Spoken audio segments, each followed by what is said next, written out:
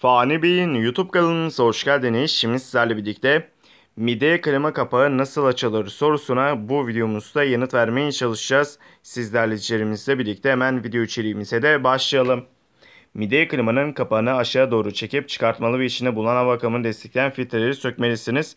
Eğer içerisine direkt olarak erişmek istiyorsanız bunları yapabilirsiniz. Kapağı açmak istiyorsanız aşağı doğru hafif bir şekilde çekiyorsunuz.